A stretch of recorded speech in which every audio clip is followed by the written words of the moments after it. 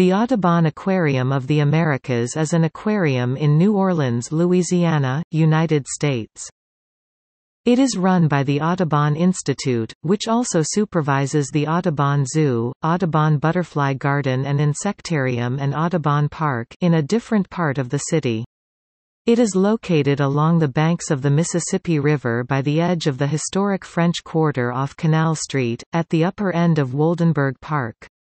It opened in 1990.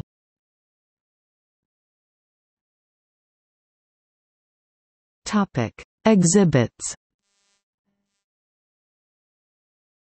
As its name implies, the aquarium specializes in aquatic life of the Americas.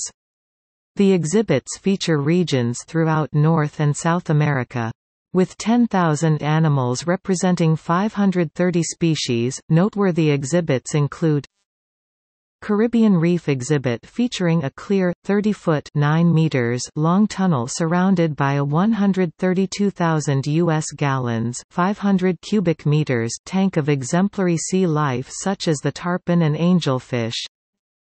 Amazon exhibit, encased in a glass cylinder, effectively a humid, climate-controlled greenhouse that is a prominent feature of the riverfront and includes macaws, piranhas, an anaconda, freshwater stingrays, and other specimens from the area basin.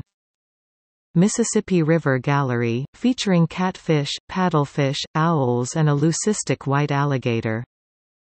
Gulf of Mexico exhibit, featuring a 400,000 U.S. gallons 1,500 cubic meters, 17-foot 5 meters tall tank of sharks, sea turtles, and stingrays from there.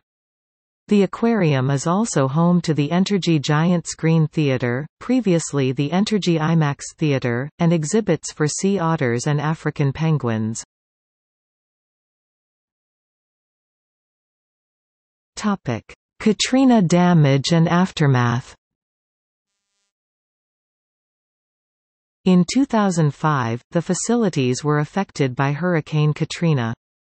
Though the structure survived the initial hurricane and was on high ground above the subsequent flooding of most of the city, electricity outages continued and the backup power generators were unable to fully operate the sophisticated life support systems needed to keep the animals alive.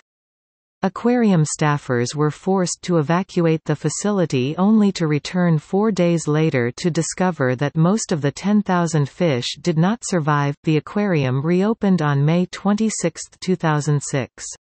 Since Hurricane Katrina, more species have been in the Caribbean and jellyfish exhibits, and there has been a large revamp to the Gulf of Mexico tank simulating ocean life below an oil rig platform. Gallery